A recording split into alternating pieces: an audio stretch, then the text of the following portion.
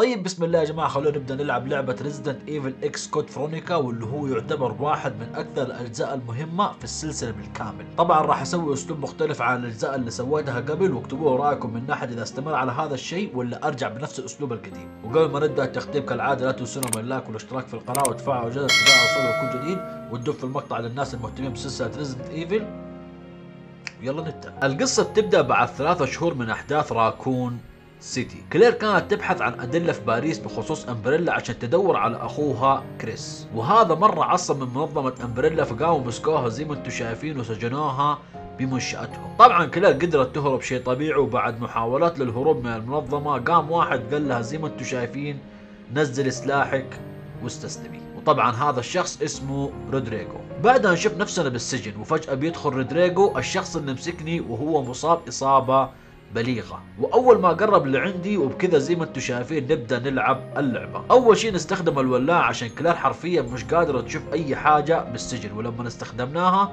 قدرنا نشوف رودريجو بوضوح وكلير تظهر علامات الخوف زي ما أنتم شايفين. لكن فجأة رودريجو بيفتح الزنزانة حقت كلير وقال لها بأنه أنت خلاص اطلع برا لأنه هذا المكان منتهي. بعدها رودريجو بيجلس ونشوفه معصب لأنه حبوب مهدئة الألم خلصت كونه هو مصاب إصابة بليغة. رودريجو بعدها قال لكلير حاول تطلع لأنه هذه الجزيرة اللي إحنا فيها تم احتلالها والقوات اللي تحمي هذه الجزيرة تم إبادتهم جميعا فأنت حرة بإنك تطلعي من هذه الجزيرة. بعدها كلير قالت له طب أنت إيش بتسوي بالضبط؟ ورودريجو قال لها لا تتدخلي بشؤوني وحاولي تنقذي نفسك فقط. طبعا نطلع من البوابة اللي دخل منها رودريجو ونطول طوالي لحد ما نلاقي درج ونطلع لما طلعنا لقينا نفسنا زي ما أنتم شايفين بالمقابر ولما طولنا نشوف الطيارة بتنفجر وبترمي حقيبة. وانفجار الطيارة هذا خلى الزومبي اللي بالمقابر يصحوا وكلير في كمية خوف لأنه كابوسها اللي تخلصت منه في Raccoon City رجع من جديد ولازم تواجه هذا الكابوس مرة ثانية. طبعا نحاول نتجنب الزومبي ونطول لهذا الجهة لحد ما ندخل عند هذا الباب. وأول ما دخلنا نشوف شخص مجهول قاعد يسلط علينا الضوء وجالس من أول يضربنا وإحنا جالسين نهرب لكن كلير قدرت تأخذ مسدس من الجثث وقامت ضربت الضوء والرجال قال لها وقفي وقفي لا تطلقيني. بعدها نزل وقال لها أنا آسف لأني كنت احسبك زومبي لكن كلير قالت له أسكت ولا راح أطلقك. بعدها هذا الشخص قال بأنه هو آسف وقام عرف عن نفسه بأنه هو اسمه ستيف وبأنه كان سجين في هذه الجزيرة. وستيف قال لها من أسلوبك واضح إنه أنت ما أنت من عملاء امبريلا. وكلير قالت له أيوه أنا سجينة زيك واسمي كلير ريدفيلد. بعدها ستيف قال لها بأنه في مطار في هذا الجزيرة واللي راح يطلعنا من هذا المكان المرعب وقال لها بروح أدور عليه. طبعا كلير قالت له وقف لكن ستيف قال لها لا تحاولي تمشي وراي لأني ما أبغى أحد يبطئني. على العموم بعد ما تعرفنا على شخصية ستيف نجي عند هذا الباب ونقوم نطول لحد ما نلاقي جسر خشبي ونطلع من عنده وندخل عند هذا الباب. سبب انه إحنا جينا لهذه المنطقة عشان ناخذ سلاح مهم لأنه هذه اللعبة حرفيا معاناة من ناحية الذخاير وكمان من ناحية العلاجات. على العموم بعد ما تخلصنا من هذول الزومبي ندخل لهذه الغرفة ونشوف نفسنا بغرفة اللي يناموا فيها الجنود. ولو جينا عشان ناخذ هذه الذخاير بيجي الزومبي من الشباك وهذا الزومبي راح يطيح سلاح اللي نبغاه. فنحاول نقتله ونقتل كل الزومبي اللي صحيوا وبعدها ناخذ السلاح ونطلع من هذه المنطقة المرعبة. لما جينا ننزل من الدرج نشوف وحش جالس يراقبنا من تحت الدرج زي ما أنتم شايفين. ولو جينا تقدمنا لقدام عن طريقنا الأساسي راح نشوف جثة بتنسحب كمان من هذا الوحش. لكن بعدين نطول لحد ما نلاقي باب ونحاول ندخل منه. بعدها نطول وراح نلاقي كمية زومبي في كل مكان فنحاول نقتل اللي نقدر عليه ومباشرة ندخل عند هذا الباب. بعدها دخلنا زي ما أنتم شايفين مكان غريب. وفجأة نشوف بأنه هذا الصندوق بينفتح ويقول له حط أي شيء معدني لهذا الصندوق. وبكذا لازم أحط السلاح اللي معايا والذخاير وكمان الولاعة ولو ما سوينا هذا الشيء الباب اللي نبغى ندخله راح ينقفل. بعد ما حطينا كل المعادن اللي معانا نقدر نتقدم ولما طولنا لآخر الممر لقينا باب على اليسار فنقوم ندخله بعدها نتقدم في الغرفة لحد زي ما أنتم شايفين نقابل شخصية ستيف وستيف قاعد يقول لكلير كريس ريدفيلد هذا يقرب لك لأنه أنت اسمك كلير ريدفيلد. فقامت قالت له أيوه كريس هو أخويا. فقام قال لها بأنه أخوكي امبريلا ناوية عليه مرة وهذا الشيء خوف زي ما أنتم شايفين من كلير وقامت تقول بأنه هي لازم تتواصل مع ليون وتقول له بأنه يتواصل مع أخوها على أنه هو مراقب من امبريلا بعدها ستيف قال لها لو أنت تقدر تتواصل مع ليون هذا ليش ما تقولي له بأنه يخلي أخوك يجي يساعدنا؟ وكلير قالت بأنها فكرة مرة حلوة. لكن ستيف قال لها ترى أنا كنت أمزح معاكي وانتبهي تفكري أي أحد يجي ينقذنا؟ من هذه الجزيرة الملعونة. لكن كلير قالت له أنا أثق بأخويا ومتأكد بأنه راح يجي ينقذنا. فقام ستيف عصب وقال بأنه أنت راح ينتهي فيك المطاف محطمة لو ظليت تعتمد على الآخرين.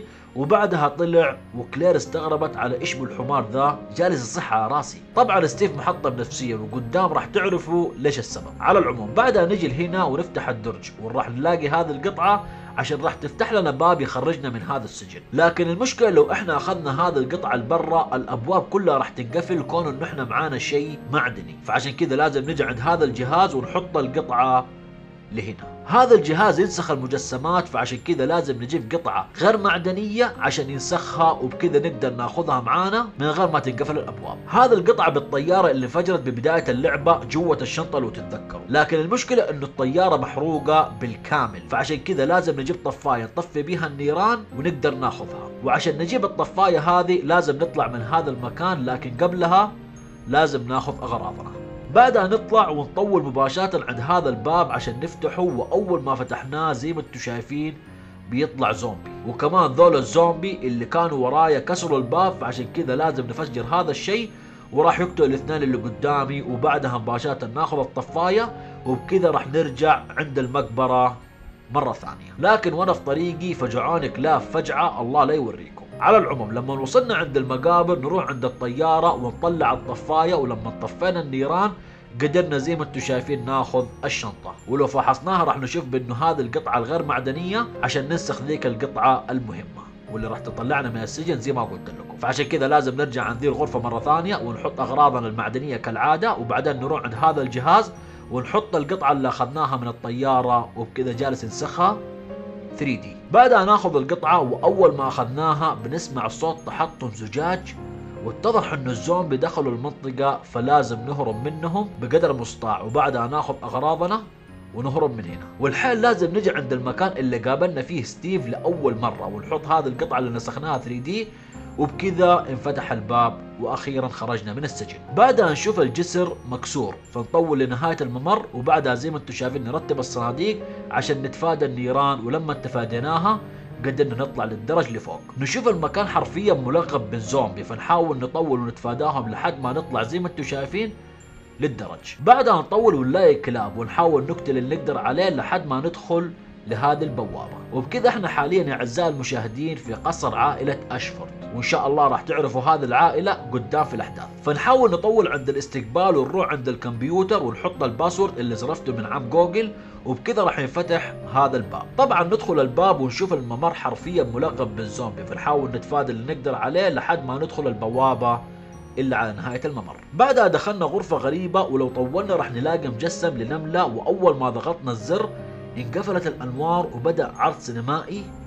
عند لوحة العرض. المقطع بيستعرض عن أخوين توأم والأخ قام يقطع أجنحة حشرة اليعسوبة ويرميها عند النمل ونشوف الأخوين سعيدين بهذا الشيء. بعدها زي ما أنتم شايفين انفتح الممر بعد ما خلص العرض السينمائي وندخل مباشرة وناخذ عجلة السفينة فقط. أيوه لو أخذت أي حاجة ثانية راح تنقفل الغرفة وتنشوي جوتها. وبعدها نطلع من القصر وأول ما طلعنا نسمع صوت صياح ستيف وهو يطلب النجدة وبكذا لازم نرجع عند هذه الغرفة اللي كنا فيها لأنه واضح أنه الحمار ستيف أخذ المسدسين اللي كانوا بالغرفة ولما رجعنا لقانا لغز. واللغز هذا يتطلب منك بأن إحنا ندور على شيئين متطابقة. ولما حليناها قدرنا ننقذ ستيف. ستيف قام شكرنا وبعدها قام يستعرض المسدسين اللي أخذهم من الغرفة. كلير قالت له بأنه أنا أبغى المسدسين هذه في حاجة مرة مهمة وستيف قال لها بأنه أنا لقيتهم يعني هم ملكي في الوقت الحالي. لكن لو تبغى تعطيني حاجة بديلة فراح أعطيك إياهم. كلير جلست تفكر عن وش عندي بشنطة الأسلحة لكن بعدها ستيف قال لها بأنه خذي وقتك لكن أنا في الوقت الحالي ماشي. بعدها نبى نطلع من هذا القصر لكن وقت خروجنا بنشوف شخص يأشر علينا بالقناص ويبي يقتلنا لأنه هو يحسب بأنه كلير أرسلت قوات تدمر هذه الجزيرة. لكن طبعا كلير قالت له بأنه هي ما لها أي علاقة بهذا الموضوع اطلاقا. بعدها هذا الشخص قال بأنه أنت لا تحاول تستغبيني لأني أنا ألفرد اشفورد وأنا المالك لهذه الجزيرة. وطبعا هو نفس الشخص اللي شفناه بالمقطع السينمائي مع أخته. فقامت كلير تستهبل عليه بأنه أنت شكلك من رتبة رديئة لأمبريلا. كونك إن أنت في هذا المكان الرديء وزي ما أنتم شايفين ألفرد مرة عصب لأنه جده هو أحد المؤسسين الأصليين لشركة امبريلا. بعدها ألفرد مصمم انه كلير لها يد بموضوع احتلال الجزيرة لأنه وقت وصولها صارت المشاكل وصار الاحتلال وصارت البلوى وهذا الشيء خلى من التي فيروس يتسرب بالجزيرة ويتحولون الكل زومبي لكن كلير مصرة بأنه أنا مالي علاقة بالموضوع اطلاقا. لكن ألفرد قال لها بأنه أنت في الوقت الحالي مجرد فأر في قفص وراح أتسلى فيكي قبل ما تموتي. على العموم بعد ما قابلنا ألفرد نكمل طريقنا بدنا نخرج من هذا القصر وأول ما نطلع ننزل من هذا الدرج ونلف يمين عشان ندخل المنطقة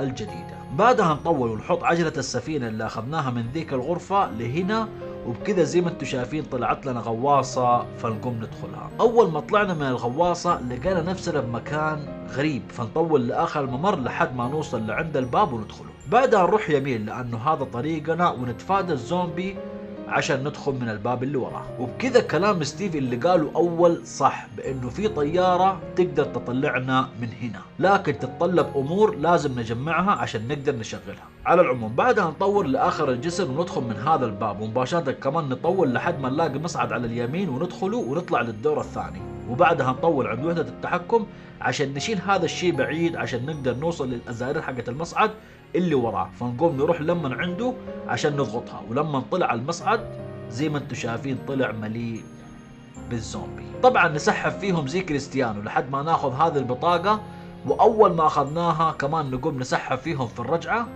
لحد ما نخرج. والحين لازم نرجع عند هذه المنطقة مرة ثانية وندخل من هذا الباب كون إنه عندنا البطاقة حق الدخول. وأول ما دخلنا زي ما أنتم شايفين لقينا دودة الأرض.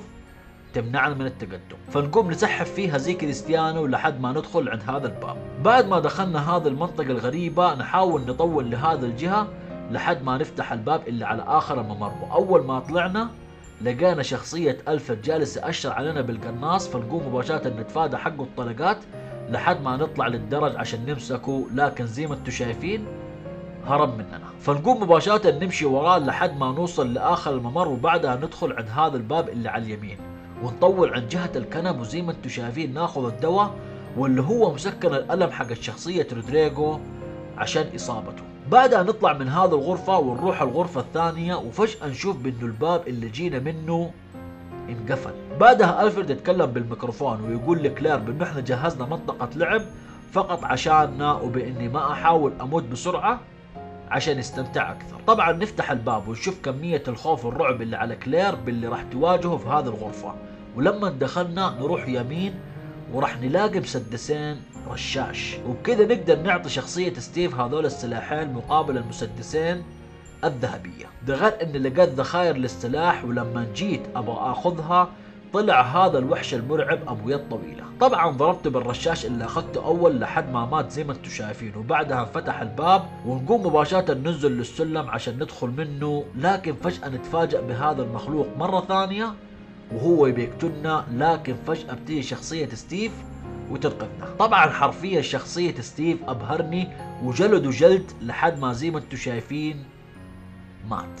بعدها راح شخصية كلير وقال لها بأنه أنت لا تخافي لأنه فارسك موجود هنا. لكن زي ما أنتم شايفين نشوف بأنه شخصية كلير فقط مهتمة بالمسدسين الذهبية اللي معاه. شكلها gold digger لكن على العموم بعدها قالت له شكرا وقامت طلعت المسدسين وقالت له بقايض هذا المسدسين اللي معاك وستيف زي ما أنتم شايفين وافق. وبكذا أخذنا المسدسين الذهبية المهمة واللي راح تفتح لنا منطقة جديدة. بعدها زي ما أنتم شايفين ستيف مبسوط مرة بالمسدسين لكن بعدين اكتشف إنهم بدون ذخاير فقامت زي ما أنتم شايفين كلير ضحكت عليه. كلير قالت له بإنه الذخاير فوق فساعدني بإني أطلع فوق عشان أجيب لك إياها. وقامت زي ما أنتم شايفين طلعت فوق ستيف وستيف قال لها بإنه انت توقعتك خفيفة لما شفتك لكن طلعتي مرة ثقيلة وبعدها كلير أعطته الذخاير عشان تسكت فيها ستيف. بعدها المصعد بينزلنا لتحت وألفرد قال بأنه هذا المكان راح يقودكم للموت. لما وصلنا ستيف قال لها خليكي هنا وراح أفضي هذه المناطق كلها من الزومبي بلعبتي الجديدة. وبعدها زي ما أنتم شايفين قاعد ألعب بشخصية ستيف ولازم في الوقت الحالي أفضي كل المناطق من الزومبي لأنه لما أرجع ألعب بكلير تكون المناطق نظيفة وما أقعد أتوهق باني أضيع ذخائري عليهم. وبكذا زي ما أنتم شايفين لما ستيف فضى كل المناطق من الزومبي قال لكلير بإنه المناطق نظيفة. بعدها ستيف يقول لها بإنه هذا السلاح أقدر أعتمد عليه أكثر من أي شخص آخر. وكلير استغربت من كلامه يعني أنت بتعتمد على الأسلحة أكثر من البشر؟ طيب أنت فين عيلتك يا ستيف؟ وستيف زي ما أنتم شايفين قام يعصب ويضرب بالمسدس لأنه ما يبغى يسمع هذا الكلام. بعدها نمشي ونطلع بالمصعد لفوق ونقوم نلحق ورا ستيف لحد زي ما أنتم شايفين نجي لهنا ونطيح لتحت. نشوف كلير محشورة وما تقدر تطلع وفجأة كلير تقول لستيف بإنه انتبه لأنه في زومبي وراك. ولما ستيف كان بيقتله انصدم وما قدر زي ما أنتم شايفين يقتله. كلير استغربت وقالت له اقتله بسرعة وقام ستيف صرخ بإنه هو ما يقدر يسوي هذا الشيء. بعدها الزومبي راح لكلير ولما كان بياكلها ستيف صرخ بأقوى ما عنده. وبكذا عرفنا إنه هذا هو أبو ستيف. بعدها ستيف قام يبكي بكى شديد وبعدها قام يحكي لكلير قصته وقصة عيلته. بإنه أبوه كان شغال مع أمبريلا وكان يسرق معلومات منها ويبيعها للناس. ولما أمبريلا اكتشفت هذا الشيء قامت سجنته وسجنت كمان ستيف معاه وقتلوا امه وقال بأنه هذا التصرف اللي سواه أبوه مرة غبي ومع ذلك هو يظل يحبه وكلير قالت له في الوقت الحالي ارتاح. بعد ما زرفنا دموع لستيف نجي لهنا ونروح مباشرة من هذا الباب وبعدها نطول ونتفادى الزومبي لحد ما ندخل عند هذا الباب اللي على آخر الممر. راح نلاقي نفسنا بغرفة غريبة فنقوم ناخذ هذا المجسم اللي على الجدار وبعدها نروح عند هذا المكان اللي مات فيه أبو ستيف ونروح مباشرة عند هذه البوابة. راح نلاقي دبابة زي ما أنتم شايفين لكن راح ندخل من هذا الباب مباشرة وراح نلاقي نفسنا مرة ثانية عند المنطقة اللي فيها دوت الأرض وراح ندخل عند هذه المنطقة مرة ثانية لحد ما نروح عند هذا المكان اللي كان ألفرد بيقتلنا فيه بالقناص حقه. ونطلع لفوق ونحط القطعة اللي أخذناها من ذيك الغرفة الغريبة عشان زي ما أنتم شايفين ناخذ هذه البطاقة المهمة. بعدها ننزل لتحت ونقوم نطول لهذه الجهة لحد ما ندخل لهذه المنطقة وننزل مباشرة من السلم. طبعا نطول وبكذا إحنا في المنطقة اللي ستيف فضاها من الوحوش فنقوم نجي لهذه المنطقة وإحنا مطمئنين بأنه ما فيها أي زومبي ونفتح هذا الباب عشان ناخذ هذه البندقية. بعدها نروح عند هذه المنطقة اللي عصب فيها ستيف لأول مرة ونطلع المصعد اللي طلعنا منه ونقوم نفتح هذا الباب وأنا هنا حرفيا مرة انفجعت. على العموم بعدها نروح عند وحدة التحكم وراح نلاقي قطعة وبكذا أخذنا أول قطعة من أصل ثلاثة قطع واللي راح تشغل لنا الطيارة اللي شفناها أول. بعدها نفتح الكمبيوتر ونقدر نتحكم بالكاميرا فنقوم نأشر الكاميرا على هذه اللوحة عشان نلقط الرقم السري وما يحتاج نستعين بعم جوجل. ونشوف الرقم اللي مكتوب فيها. وبكذا لازم نرجع عن ذي المنطقة مرة ثانية ونفتح هذه المنطقة الجديدة. بعدها نطلع الدرج ومباشرة نروح عند ذي الجهة وندخل من هذا الباب. بعدها نطول ونقوم ناخذ هذا السلاح حقت القوس اللي على الطاولة. لا تنسوه زي ما أنا نسيته أول. وبعد ما أخذناه نروح مباشرة عند هذا الباب ونحط الرمز السري اللي أخذناه من اللوحة. ولما نفتح الباب نروح مباشرة عند هذه اللوحة اللي شفناها بالكاميرا. وناخذها أول ما أخذناها بيصحى هذا المخلوق وقاعد يقول أنت بتاخذ كل حاجة وتروح تسيبنا عشان تروح بالطيارة يا كلب. وهو أصلا زي ما أنتم شايفين اللي قتل كل العلماء اللي بالغرفة ونقوم مباشرة نهرب من هذا المكان قبل ما تنقفل البوابة علينا. وبكذا لازم نرجع عن ذي الغرفة اللي أخذنا منها المجسم ونحط اللوحة لهنا. وبكذا زي ما أنتم شايفين راح يطلع لنا مجسم للسجن.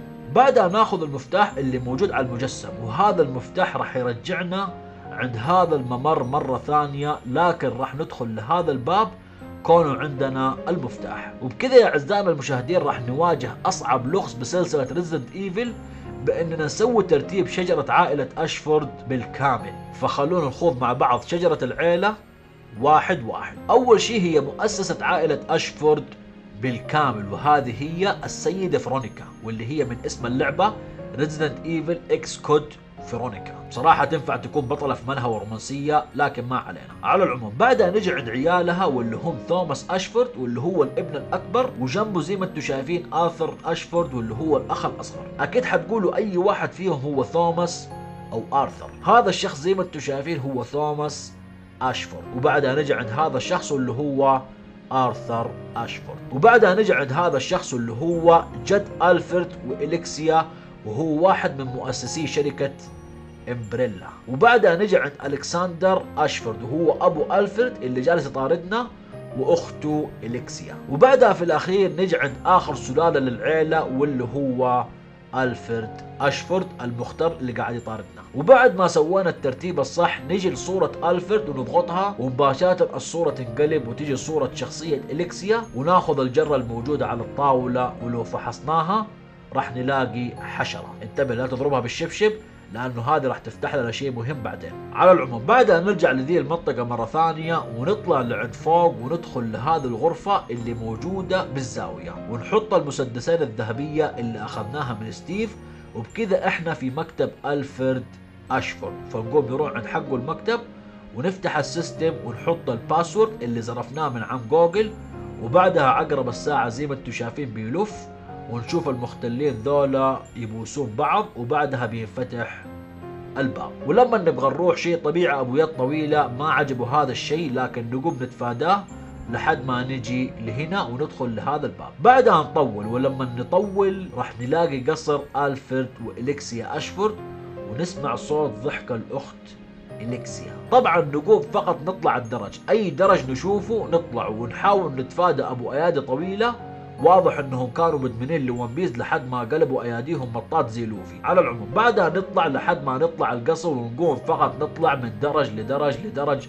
لحد ما نوصل لعند هذه الغرفة واللي هي غرفة ألفرد وإليكسيا. نشوف إليكسيا تقول لي ألفرد بأنه عدوتنا فقط مجرد فتاة صغيرة واللي هو يتكلم علينا. وأخوه يقول لها بأنه كل شيء تحت السيطرة وبأنه لا تقلق وبأنه هو راح يخليها سيدة عائلة اشهر فجأة إليكسيا بتسمع صوتنا ولما شافت إنه ما في أحد قالت شكلي قاعدة أتوهم وبعدها قالت خلينا نمشي. على العموم بعدها نروح لهنا وندخل لهذه الغرفة ونروح عند صندوق الموسيقى ولما اشتغلت اشتغلت موسيقى عائلة اشفورد لكن فجأة انقفل وقام انفتح السرير زي ما أنتم شايفين ولقينا بالسرير مفتاح مرة مهم. طبعا ناخذ هذا المفتاح وهذا راح يرجعنا من أول وجديد لهذه المنطقة ونقوم نفتح هذا الباب. راح نلاقي شيء طبيعي أبو أيادي طويلة فنحاول نتفاداهم بقدر المستطاع وناخذ هذا الدرع اللي موجود على الطاولة وبكذا راح نرجع من أول وجديد لهذه المنطقة فنفضي هذا المكان من الزومبي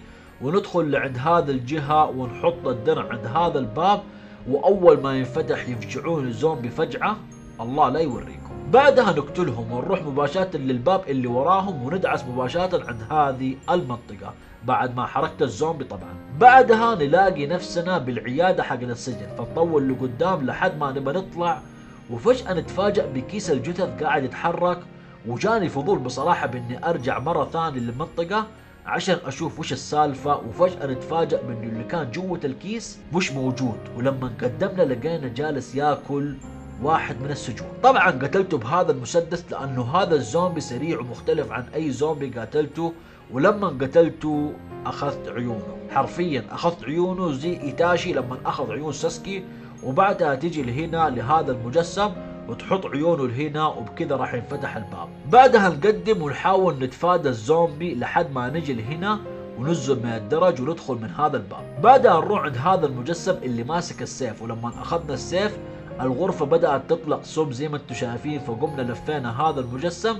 عشان يوقف السم وبعدها قلب المجسم لتابوت حديدي. فقمت حشرت السيف فيه وزي ما أنتم شايفين يطلع زومبي يطير بروحي من الخوف. بعد ما قتلناه نروح لهنا عشان ناخذ هذا القطعة. وبكذا لازم نرجع للقصر مرة ثانية. لكن قبلها قلت لازم أرجع مرة ثانية عند رودريجو عشان أعطيه الدواء اللي أخذته من ذيك الكنبة. ويقول لي بإني شطورة و kawaii. بعدها رودريجو تعجب بان أنا رجعت عشانه وكمان قدرت أدبر الدواء حقت الألم. فقام زي ما أنتم شايفين شكرني بالشيء اللي أنا سويته. وبعدها كلير قالت له خليني أعالج جرحك لكن قال لها لا تهتمي فيا واهتمي بنفسك أفضل. بعدها كلير تركت الولاعة وقالت له بإنه هذه هدية أخذتها من أخويا وبالمقابل زي ما أنتم شايفين رودريجو أعطاني هذا الشيء اللي راح يفتح الاقفال وقال لي خلاص أمشي وبإني أنا لا أحاول أقلق عليه. بعدها نرجع للقصر مرة ثانية لكن لما كنا بندخل عند الباب قام شخص قاعد يناديني. كلير قالت له مين أنت؟ فقام قال لها خلينا نفترض بإني أنا مجرد شبح ورجعت ثاني عشان أنتقم من أخوك. وبكذا يا أعزائي المتابعين ويسكر طلع عايش بعد الموتة اللي ماتها في الجزء الأول. طبعا ويسكر قال بانه هو اللي هجم على هذه الجزيرة وما أتوقع ابدا إنه راح يلاقي كلير موجودة لكن كونها موجودة هذا راح يخلي كريس يظهر وياخذ بانتقام. لكن كلير قالت بأنه أخويا مش مخفى عشان يطيح على يد واحد غبي زيه وقام ويسكر عصب ومسك كلير وقام يجلدها جلد لحد ما أتباعه دقوا عليه وقال بانه هو الحين جاي يقابلهم. بعدها وسكر قال كون إنه أنت افتيني بإنك أشغلت الحمار ألفرد كون إنه هو يحسبنا بانه إحنا دمرنا الجزيرة بإنه هو في الوقت الحالي يطاردك فأنا راح أخليك تعيشي لمدة أطول ونشوف بإنه عيون وسكر صارت غريبة. على العموم بعد ما تشمطنا من وسكر نرجع القصر ونطلع مرة ثانية للدور الثاني ونروح للجهة اليسار وندخل لهذه المنطقة. بعدها راح نلاقي نفسنا بغرفة قمار والعياذ بالله. فنروح عند هذا الجهاز حقت البيانو ونحط هذه القطعة اللي أخذناها لهنا وبعد ما عزفت الموسيقى حقت عائلة أشفود الشهيرة انفتح هذا الجهاز وبكذا نقدر ناخذ القطعة الثانية. الحين لازم نرجع مرة ثانية عند قصر ألفرد وإليكسيا لكن وأنا راجع قدامي زي ما أنتم شايفين حشد كبير من الزومبي. الله لا يوريكم. بعد ما تخلصنا منهم كلهم نرجع لعند غرفة إليكسيا وناخذ الأسطوانة هذه وبعدها نروح عند هذه الغرفة حقت ألفرد اللي بالجهة الثانية. ونروح عند هذا الجهاز ونحط الحشرة زي ما أنتم شايفين عشان ينفتح جهاز الموسيقى ونقدر نحط الاسطوانة وبكذا زي ما أنتم شايفين. السلم ينزل من السرير. طبعا نطلع السلم ويتضح إنه الأخوان عندهم ملاهي فوق غرفتهم. لكن نجي لهذا الجهة وناخذ هذه القطعة الحشرية ونقوم نجي ونحطها في هذه المنطقة. بعدها راح تشتغل اللعبة وزي ما أنتم شايفين لما تخلص راح ينزل سلم فنقوم نطلع لفوق. بعدها راح نلاقي نفسنا بمكتب فناخذ الصندوق وندفه عند رف الكتب ونطلع فوق عشان ناخذ حاجتين من فوق الرف. الحاجة الأولى هي رسالة اعتراف من ألفرد بأنه يشوف أخته هي أعظم شيء صار بالبشرية وأنه يشوف نفسه مجرد خادم حولها وراح يسوي أي شيء عشانها. والشيء الثاني هي القطعة الثانية من أصل ثلاث قطع عشان نطلع بالطيارة اللي شفناها أول. بعدها نطلع برا غرفة الأخوين لأنه بصراحة فيها ريحة Game of Thrones وفجأة تجي إليكسيا وتوقفنا واللي هي أخت ألفرد. قامت إليكسيا قالت بأنه انتهى اللعب وإنت يا كلير باسم عائلة أشفورد لازم تموتي. وفجأة بيجي ستيف ويقوم يطرخها وإليكسيا زي ما أنتم شايفين تهرب. ستيف قال لازم نلحق وراها لكن كلير قالت له وقف وقف. هل أنت بخير؟ وستيف قال لها أنا بخير. هو مجرد خدش بسيط. بعدها نلحق ورا إليكسيا ونكتشف فستانها فوق السرير وباروكة شعر فوق جهاز الموسيقى. فجأة بيجي ألفرد يبغى يضربنا لكن ستيف له بالمرصاد فيقوم زي ما أنتم شايفين يوقف ألفرد وجنونه. بعدها ألفرد زي ما أنتم شايفين بيتفرج على نفسه بالمراية ويقوم يصرخ ويبكي وزي ما أنتم شايفين يهرب. ستيفن فجأة قال إيش بو هذا المدلع قاعد يصرخ زي كذا؟ وكلير قالت له بأنه أصلا ما في حاجة اسمها إليكسيا وبأنه إحنا اللي شفناه هو أصلا ألفرد لكن لابس ملابس أخته. هذا الشيء خلى من ستيف يقول لازم نطلع من هذا الجزيرة المجنونة. بعدها نرجع مرة ثانية عند ذي المنطقة وزي ما أنتم شايفين ناخذ القطعة الثالثة وبكذا إحنا يا أعزائنا المشاهدين جاهزين للهروب. بعدها ستيف بيجي ولما نتفرج فوق السماء بنشوف إنه الناجين المتبقين لهذه الجزيرة جالسين يهربوا بالطيارات اللي شفناها أول وكلير قالت بانه لازم نسوي نفس الشيء. بعدها نرجع مرة ثانية لهذه المنطقة ونروح عند الجهة اليسار وندخل لذي المنطقة ونروح مباشرة عند ال system عشان يخلي هذا الجهاز يقرب ونحط القطعة الثلاثة اللي من أول كنا نجمعها وبكذا زي ما أنتم شايفين نقدر ندخل الطيارة. لما دخلنا الطيارة ستيف قاعد يقول بأنه في جسر ساد الطريق وكلير قالت بأنه أنا راح أهتم بالموضوع وأنت في الوقت الحالي سخر الطيارة على بال ما أجي. فنقوم مباشرة نأخذ هذه القطعة اللي تحت الأرض ونرجع مرة ثانية عند ذي الغرفة ونطلع المصعد مرة ثانية لفوق ونطول طوالي لحد ما نجي عند هذا الباب. بعدها نحط القطعة اللي أخذناها من الطيارة لهنا وبكذا أخيرا قدرنا نطلع الجسر ونقدر نرجع للطيارة عشان نحرك. لكن المشكلة إحنا رفعنا الجسر فعشان كذا لازم ندور طريقة ثانية نرجع فيها الطيارة. وعشان نسوي هذا الشيء لازم نطول لهنا ونفتح هذا الباب ونطول لحد ما نلاقي كمية جثث ناخذ منهم المفتاح اللي على الأرض ونرجع مباشرة عند ذي المنطقة ونفتح هذا الباب بالمفتاح اللي أخذناه. بعدها نقدم لحد زي ما أنتم شايفين نلاقي مصعد لكن اللي ساده هذه الصناديق فنقوم ندخلها لجوا وبكذا زي ما أنتم شايفين نقدر نستخدم المصعد لكن فجأة بيجينا انذار إنه بعد خمسة دقائق راح تنفجر الجزيرة. بعدها تنقل الأحداث لألفرد ويقول بأني أنا ما راح أخليكم تهربوا وبإني راح آخذ انتقامي منكم. ونشوفه بعدها أطلق مخلوق ال Tyrant واللي كأنها نسخة من Resident Evil 1 لكن بطريقة مطورة. بعد ما طلعنا من المصعد زي ما أنتم شايفين ودانا عند دودة الأرض مرة ثانية فنقوم مباشرة ندخل لهنا. ولما طولنا شوية جاء انفجار قوي وطيرنا. لكن فجأة زي ما أنتم شايفين بيظهر قدامنا مخلوق التايرنت طبعا نقوم نجلد فيه نجلد فيه نجلد فيه لحد ما يطيح وبكذا زي ما أنتم شايفين نقدر نرجع للطيارة مرة ثانية. وكلير قالت له أقلع بسرعة يا ستيف.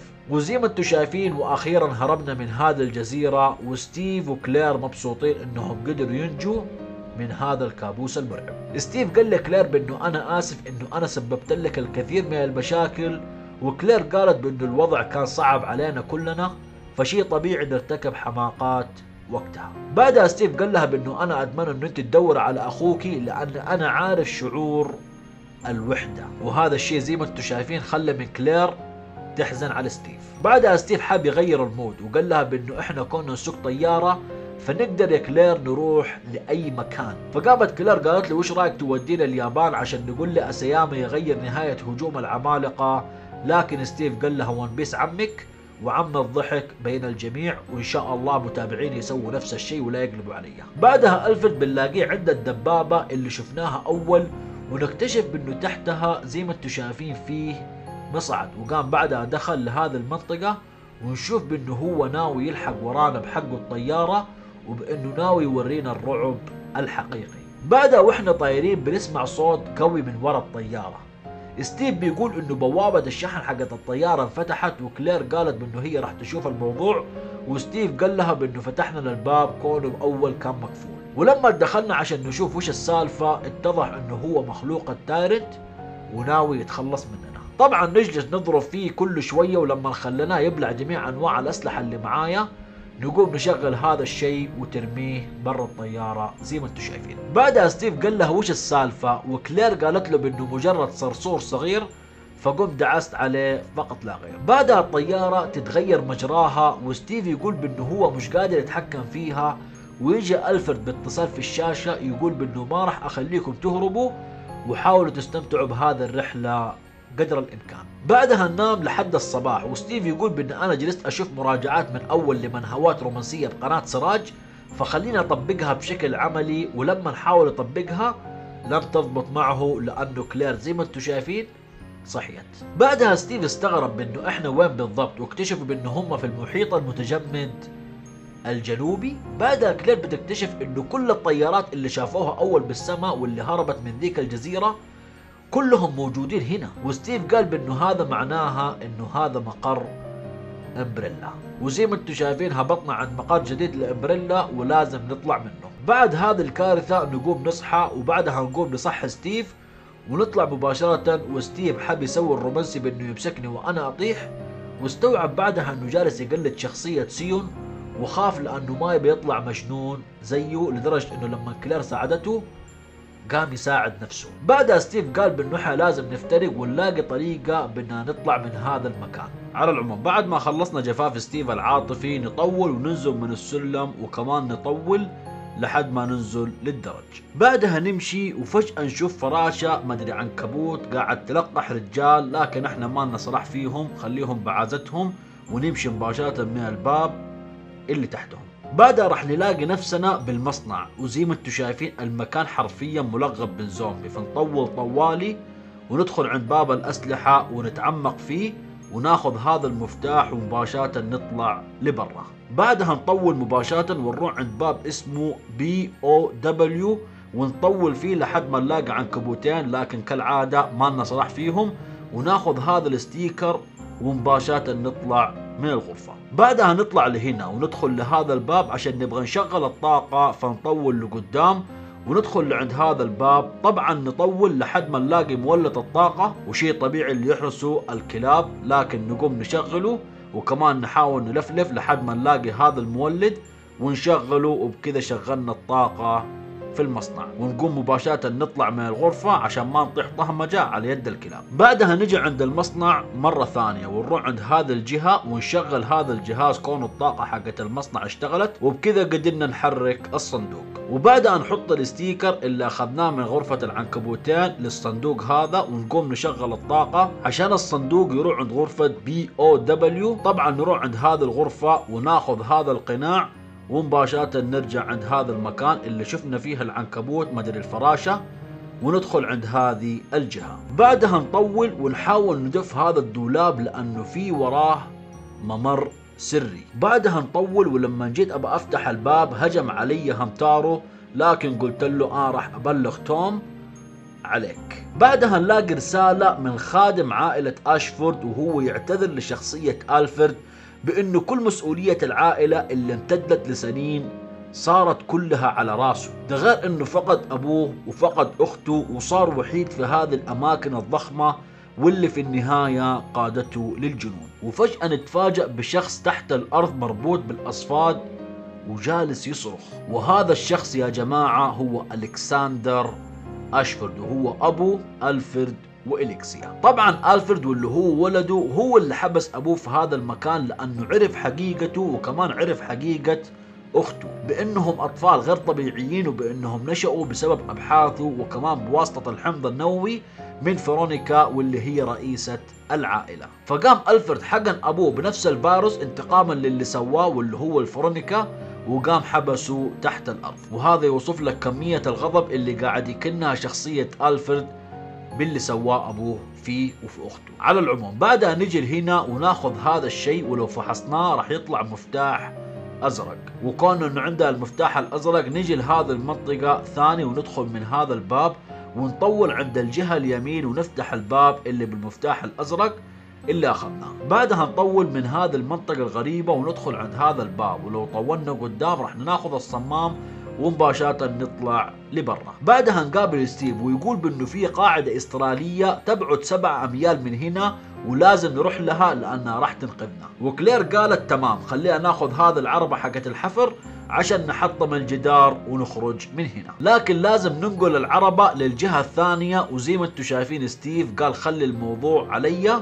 وبعدها ستيف زي ما أنتم شايفين قام يحركها بوحدة التحكم لكن جفافه العاطفي اتجاه كلير ودانا في ستين داهية وهذا خلى الغاز يتسرب في الغرفة ولازم نطلع برا. قام ستيف وكلير طلعوا وستيف يقول بأنه هو آسف على اللي سواه وكلير تقول له لازم تبطل منهوات رومانسية عشان لا تجيب فينا العيد مرة ثانية. بعدها قالت له لازم نوقف الغاز اللي بالغرفة أول وبعدها على طول نمشي من هذا المكان. بعدها كلير ذكر ستيف بأنه لا تقرأ منهوات رومانسية كثير وتذكر بانه One Piece عمك وستيف انبسط وقام مشي. بعدها كونه أخذنا الصمام نجي عند هذه الجهة المقابلة وندخل من هذا الباب ومباشرة راح نلاقي مكان فيه زومبي جوة قفص لكن نسيبه ونروح عند آخر الممر حقت هذه الغرفة. وزي ما أنتم شايفين نلاقي الجهاز فنقوم نحط الصمام فيه له عشان يقدر يخليه بنفس فتحة المقبض. لا حد يجيني في التعليقات يقول لي أفا ما تعرف تدخله ولازم تحطه عند هذا الجهاز عشان تقدر تدخله. على العموم بعد ما خليناه صغير نروح عند هذه الغرفة اللي كنا نشغل فيها الطاقة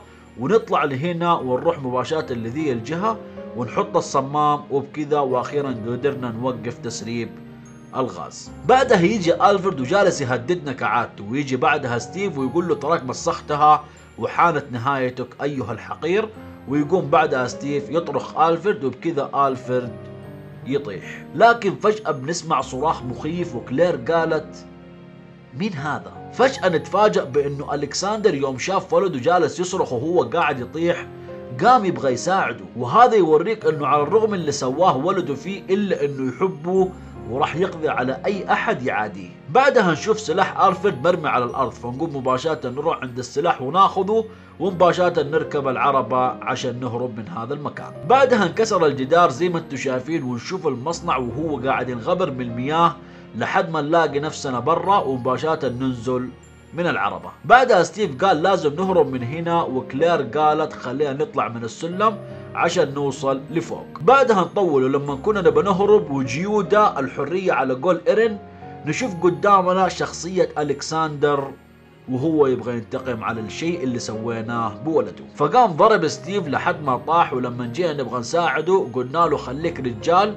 وتمسك بالحديدة لحد ما أقضي على ألكسندر وأرجع لك ثاني. طبعا ستيف قال لها أتركيني وأهربي لكن كلير قررت البقاء والمواجهة. طبعا جلست فقط أضربه في طيبة قلبه بالقناص حق ألفرد فقط أضرب فيه ولما خلصت الذخاير جلست أضرب بالمسدس لحد ما أخيرا زي ما أنتم شايفين ودع الملاعب. بعدها زي ما أنتم شايفين نرجع نساعد ستيف ونطلعه عند السطح مرة ثانية. وقام قال له بانه هو آسف بأنه أنا خذلتك وقالت له كلير بأنه أنت ما عندك مشكلة وقال أنا أوعدك بأن أنا اللي راح أكون أنقذك المرة الجاية. اتذكروا هذه الجملة تماما. بعدها ننزل من الدرج وأخيرا نلاقي العربة قدامنا فنقوم نركبها ونهرب من هذا الكابوس المرعب. لكن في الجهة المقابلة نشوف بأنه ألفرد في حالة صعبة جدا وهو يزحف لحد ما يوصل عند الغرفة اللي فيها أخته إليكسيا. فجأة نشوف إليكسيا بتصحى ويقول أخيرا استيقظت يا أختي العزيزة إليكسيا.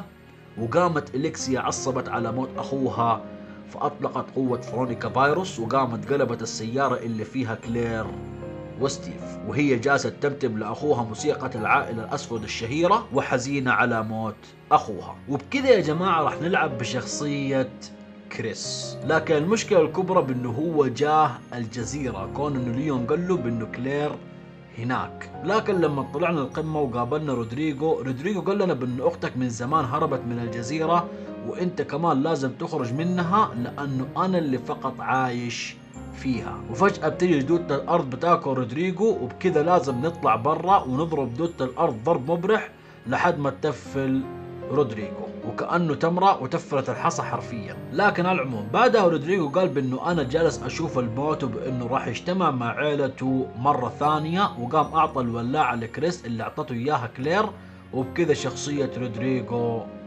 ماتت. بعدها نطول لحد ما نلاقي مصعد ونركبه وهذا راح يجيب هذه الغرفة اللي مات فيها أبو ستيف وبكذا راح نطلع برا عن ذي الدبابة اللي ألفرد نزل منها بالمصعد ونقوم كمان ننزل منها لحد ما نطول طوالي من هذه المنطقة وناخذ البطارية اللي على آخر الممر. وبعدها بيطلعوا العناكب فنقوم نتفاداهم ونرجع لذي المنطقة مرة ثانية ونحط البطارية لهنا وبكذا راح تطلعنا لفوق. بعدها بنلف يسار وناخذ المفتاح اللي موجود على الطاولة ونرجع مباشرة عند هذا الباب مرة ثانية وفجأة بنشوف إليكسيا على الشاشة بتمتم موسيقى عائلة أشفورد.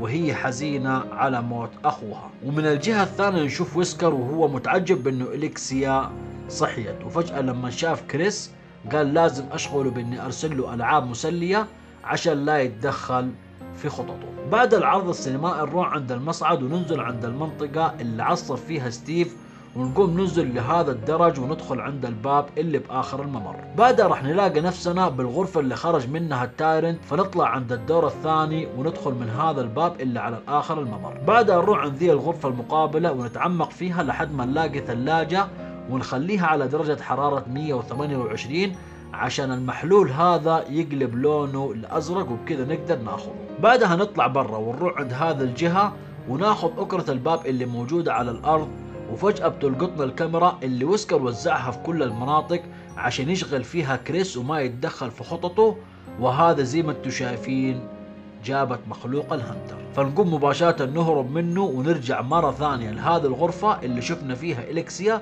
تغني من الشاشة وندخل لهذا الباب. طبعا إحنا نبغى ناخذ هذه القطعة لكن المشكلة بإنه هي طاحت في المجاري زي ما أنتم شايفين. لكن إحنا حاليا بنطول وندخل لهذا الباب ونحاول نتفادى كاميرات ويسكر لحد ما نجي لهنا وكمان ندخل لهذا الباب. وبعدها نجي عند هذا الباب ونحط الأكرة اللي أخذناها من الأرض وبكذا نقدر نفتح هذا الباب ونلف يمين ونطول لحد ما ناخذ مجسم الدبابة. وهذا الشيء راح يرجعنا مرة ثانية لهذه الغرفة فنقوم نحط المجسم حق الدبابة اللي هنا وبكذا فتح هذا الشيء اللي كان ورا الصورة ونقدر ناخذ المفتاح منه. طبعا الحين طالب مننا نحط الثلاثة قطع اللي حطيناها أول عشان نشغل الطيارة. فعشان كذا لازم نرجع مرة ثانية للطيارة لكن بطريق مختلف عن الطريق اللي كنا نسلكه أول. وإحنا راجعين زي ما أنتم شايفين عشان ناخذ القطع بتيجي شخصية ويسكر. وتوقفنا. كريس زي ما أنتم شايفين في وجهه علامات التعجب من ناحية إنه كيف ويسكر بعد الموت اللي ماته في الجزء الأول عايش. ده غير إنه كمان أصلا إيش يسوي هنا؟ وقال له بإنه أنا هنا عشان إليكسيا وبكذا كريس عرف بإنه هو اللي هجم على الجزيرة ولما كان يبغى يضربه قام ويسكر يجلد كريس حرفيا جلد وجالس يعبر عن مدى كرهه لكريس وبإنه خرب كل خططه.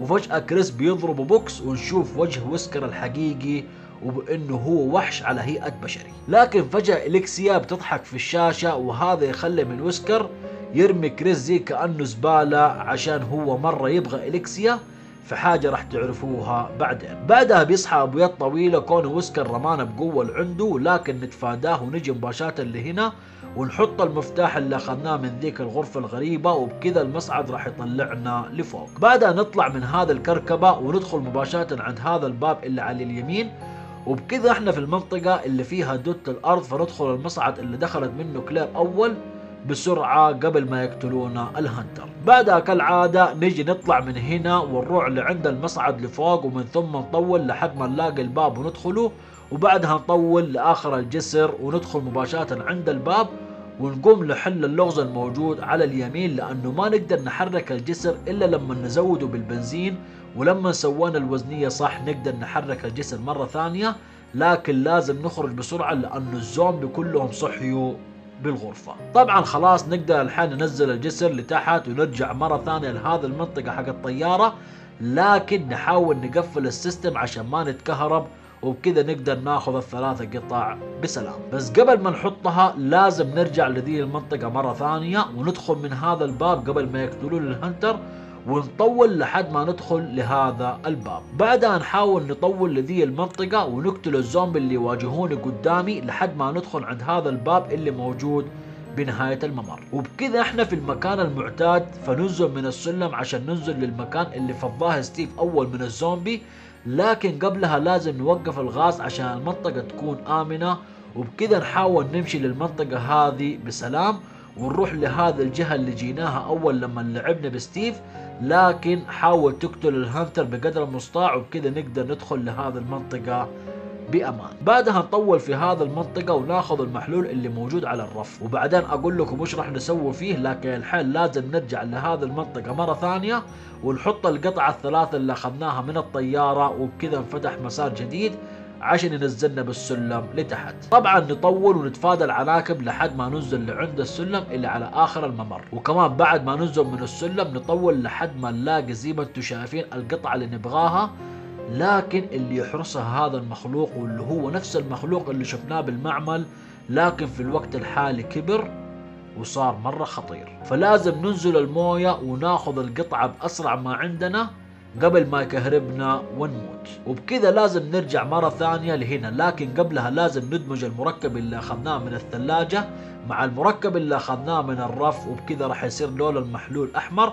وهذا الشيء راح ندمجه مع الدرع وبكذا راح ناخذ هذه القطعة واللي راح تفتح لنا هذا الباب وبكذا نقدر ناخذ واحدة من الطيارات حقت ألفرد. ونروح مباشرة عند كلير ننقذها من المحيط المتجمد الجنوبي. بعدها نوصل عند مقر امبريلا اللي عند المحيط المتجمد الجنوبي. فنقوم نطول عند آخر الممر هذا وندخل الباب وبكذا زي ما أنتم شايفين إحنا بنفس المكان اللي كلير وستيف هبطوا بالطيارة لكن الفرق انه إليكسيا حاليا حاطة بلاوي في الممرات. ونقوم نمشي لحد ما نوصل لذي الغرفة.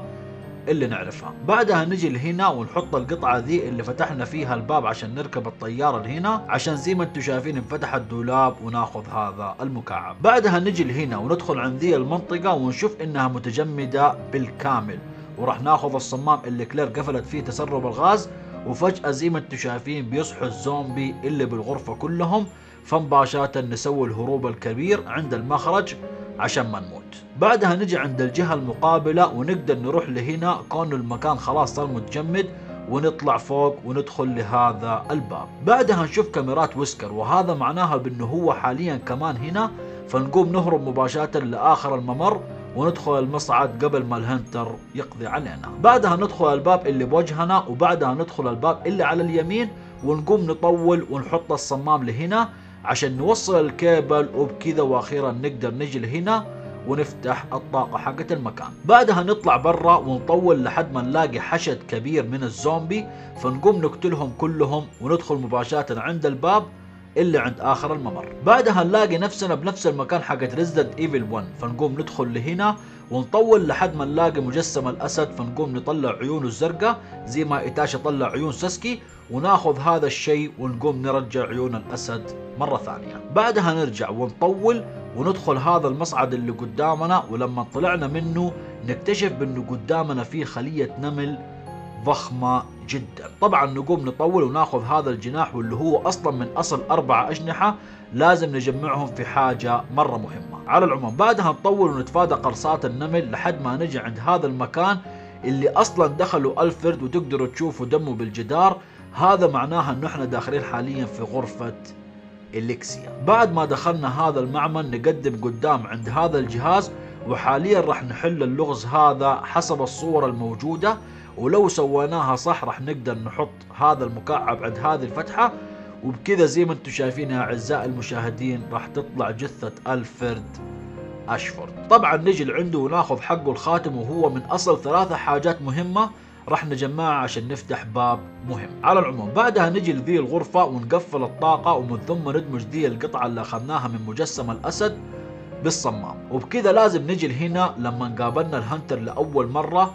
وندخل من هذا الباب وبعدها نطول لحد ما نلاقي زي ما أنتم شايفين السلم ونطلع لفوق ومن ثم نذي عندي الجهة ونحط الصمام عشان نفضي الحوض بالكامل من الموية وبكذا ننزل لتحت وناخذ المفتاح وبعدها يفجعني الهنتر فجعة الله لا يوريكم. بعدها نجي لهنا ثاني وندخل لذي المنطقة ونستخدم المفتاح اللي أخذناه قبل شوية عشان نستخدم الرافعة وترفع زي ما أنتم شايفين.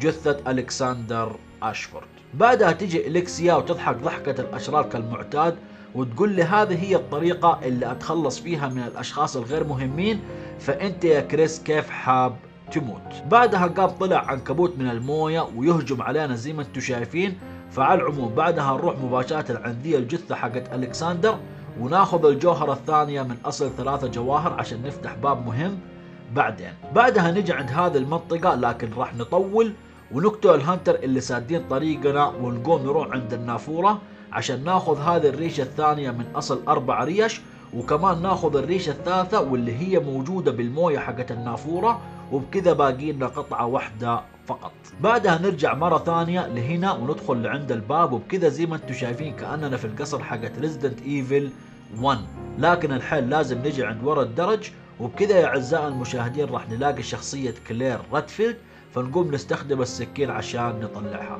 بعد ما طلعناها قامت كلير صحيت وكعادة الأخوان يوم يقابلوا بعض. كيفك يا お兄ちゃん وأبغاك تفرك رأسي لأني أنا かわいい لكن بعدين نتفاجأ بأنه كلير مسممة ولازم نجيب الدواء عشان نعالجها. طبعا الدواء راح تلاقيه هنا بأنك تدخل ذي المنطقة اللي فجعنا فيها ال Hunter وتنزل من عند المصعد لتحت وتحاول تقتل حشد الزومبي هذا لحد ما توصل عند الرف. وتاخذ الدواء ومن ثم ترجع عند كلير ثاني وبكذا قدرنا نعالجها من السم بعدها كريس قال لها خلينا نمشي لكن كلير قالت له أول شيء لازم ننقذ ستيف لأنه هو هرب معايا من الجزيرة ومتأكد بأنه هو في مكان قريب من هنا. بعدها بتجي إليكسيا وكريس قال إليكسيا فقامت كلير قالت يعني إليكسيا لها وجود كونه هي شافت أخوها فقط بيتنكر فيها. طبعا كريس قال خلينا نجري وراها لأنه شكلها تعرف مكان ستيف ولما نبغى نمسكها تقوم مخلوقاتها تفرقنا وكريس يقول لكلير روحي أنقذ ستيف وسيبيني. وبكذا رجعنا نلعب بكلير مرة ثانية. فنقوم نطلع من هذه الغرفة ونطول ونحاول نتخلص من هذه المخلوقات اللي سادة الطريق لحد ما نوصل لعند آخر الممر. بعدها نطول ونطلع الدرج وبعدين نروح نطول عند هذه المدفعية ونحركها عشان ترمي لنا كورة زجاجية. فنقوم نحطها هنا عشان تكسرها. وزي ما أنتم شايفين ناخذ هذه البطاقة. بعدها نرجع لهنا ونقوم ندخل لهذا الباب. ونقوم نطول عند هذا الجهاز ونستخدم البطاقة اللي أخذناها أول. وبكذا انفتح الباب لكن انقفل الباب اللي جينا منه. طبعا نتقدم في هذا المكان المرعب لحد زي ما أنتم شايفين نلاقي قدامنا شخصية ستيف. فنقوم نساعده وستيف يقول لها بأنه إليكسيا. حقنتني بال T فيروس وهو نفس الفيروس اللي حقنت فيه أبوها. ومن ثم تظهر أعراض الفيروس بستيف ويطلب من كلير المساعدة. وبعدها زي ما أنتم شايفين نشوفه يتحول لمخلوق ضخم أخضر. ومن ثم ياخذ الفاس وهو مستعد حاليا يطاردنا. طبعا نهرب من ستيف لحد ما نوصل لآخر الممر قبل ما تنقفل البوابة. وزي ما أنتم شايفين وأخيرا لحقناها. بعدها ستيف جلس يضرب الباب وكلير في كمية خوف بإنها ما تعرف وش تسوي كون الباب مقفول وفجأة بتهجم هذه المخلوقات على كلير وتقوم تثبتها عشان ستيف يقصها لنصفين. ولما جاه ستيف خلاص يبغى يضرب كلير استوعب اللي جالس يسويه بكلير ونادى اسمها ومن ثم قام ضرب المخلوق اللي ماسكها. لكن هذا المخلوق صد ضربة قوية لستيف لحد ما اخترقت بطنه. بعدها كلير بتجي عند ستيف عشان تشوف الإصابة حقه وستيف يمسك يد كلير لأنه هو حاسس بالبرد كونه جالس يحتضر. لكن كلير قالت بأنه أنت حاول تصمت يا ستيف لأنه أخويا جاي في الوقت الحالي ينقذنا. وستيف قال بأنه أخوك حافظ على وعده بأنه هو ينقذك لكن أنا للأسف ما قدرت. كلير ما فهمت كلامه لكن ستيف قال لها بأني أنا سعيد إني قابلتك وأنا أحبك يا كلير ومن ثم مات ستيف. ونشوف كلير بتنهار لا اريد ستيف مع شخص آخر أريده أن يظل أعزب لعشر سنوات. وزي ما أنتم شايفين بعدها طلعت كلير مرة تحب ستيف حب شديد وهي زعلانة بأنه هي ما شافت حبه. أنا حعيط. بس حرفيا علاقة مرة حلوة وأتمنى حقون Resident Evil يسووا حاجات كثيرة في المستقبل زي كذا. وبعدها تنقلنا الأحداث لكريس وهو مستخبي ويشوف ويسكر يقول لإليكسيا أبغاك تيجي معايا لأنه في في جسمك عينة الفيرونيكا فايروس واللي هو يبغاها. وبكذا عرفنا غرض ويسكر من أول إيش وليش أصلا جاء الجزيرة وليش هجم عليها.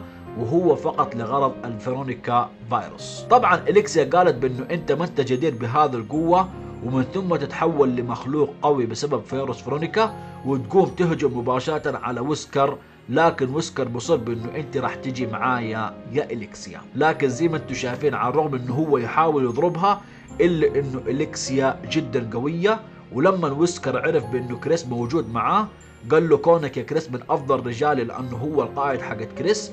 فراح أخليك تتولى أمرها وبكذا لازم نتضارب مع اليكسيا طبعا نقوم نجلد في اليكسيا نطيح فيها ضرب العالمين لحد زي ما أنتم شايفين تطيح وبكذا نقدر ناخذ الجوهرة وبكذا جمعنا كل الجواهر اللازمة.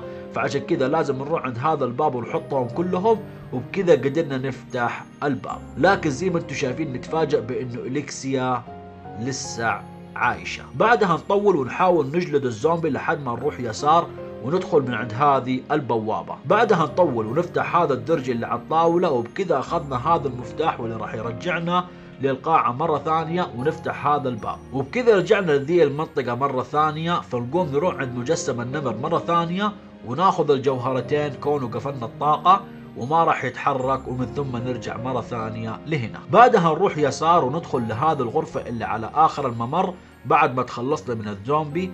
وبكذا كأننا في غرفة إليكسيا وألفرد اللي شفناها بالجزيرة. فنقوم نحط الجوهرة عند جهاز الموسيقى عشان ناخذ الأسطوانة ومن ثم نروح عند الغرفة المقابلة كالعادة ونحط الجوهر عشان نحط الأسطوانة ومن ثم راح ينزل السلم كعادة اللي سويناه في الجزيرة. بعدها نطلع السلم وراح نلاقي نفسنا بمائدة أكل فنقوم ناخذ هذه القطعة المهمة وبعدها نرجع ثاني لهنا وندخل من هذا الباب. بعدها نلاقي نفسنا بوحدة التحكم فنقوم ننزل بالمصعد زي ما أنتم شايفين لتحت ونروح لعند السيستم عشان نقدر ناخذ الجناح الرابع والأخير. وبكذا ندمجها مع هذه القطعة اللي أخذناها من فوق غرفة الأخوين وبعدها نطلع ثاني بالمصعد ونروح لهذه الجهة عشان ندخل الباب اللي فوق الدرج.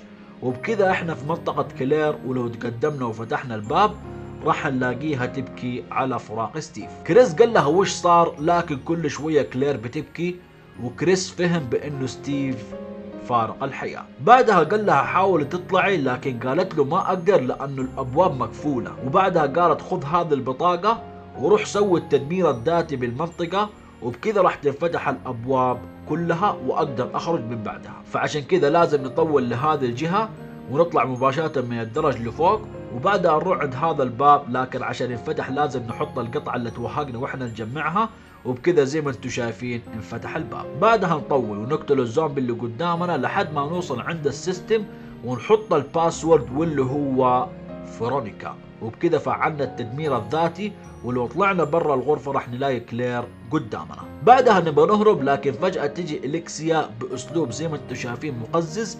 فكان كريس قال لها خليها بسرعة نشغل هذا المسدس بعد ما نسوي العد التنازلي لثلاثة وبكذا زي ما أنتم شايفين قدرنا نفعل المسدس. بعدها كريس قال لها خلاص سيبيني وأهربي وأنا بشوف شغلها. وكلير قالت بإنه تمام لكن انتبه تموت علي لكن تقوم إليكسيا توقفها فنقوم نضربها عشان نخلي كلير تهرب. بعدها إليكسيا تتحول لمخلوق مرعب كبير والحين لازم نواجهه. طبعا جلست أجلدها فقط أجلدها طاخ طيخ طرباخ طش زي ما أنتم شايفين لحد ما قامت الحشرات تاكل جسمها. وهذا يذكرنا بنفس العرض السينمائي يوم ألفريد رمى الحشرة على النمل. بعدها نشوف إليكسيا عاليا تطير في الفضاء.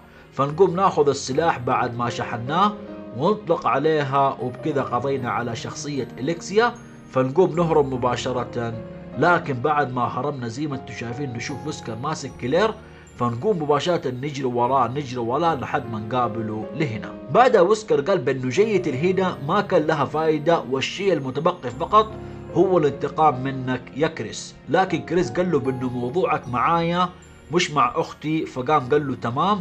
ورمى له كلير ويسكر قال بأنه اليوم بالنسبة له هو يوم جميل لأنه أنا جيت عشان إليكسيا لكن أشوف بأنه قتلك يا كريس هو أفضل بكثير. لكن كريس قال له بأني آسف إني خيبت ظنك لأنه إليكسيا ماتت.